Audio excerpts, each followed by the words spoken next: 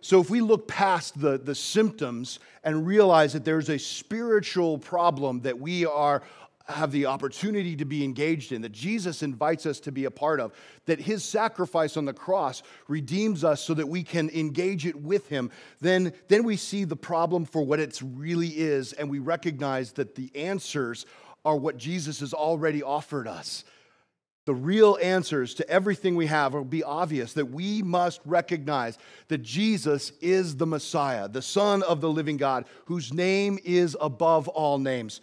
He is the blessed Redeemer, the one that sets this right. He's the one that's here to rescue all of us sinners. He's here to rescue us and to pay the ransom that goes with the debt of our bad behavior. He is the one true King. It is Jesus Christ who is Lord of all. When we recognize that and hold fast to that purpose and see the problem for what it really is, then we can see God at work in our lives and in the world around us, transforming the world with His solution, not ours.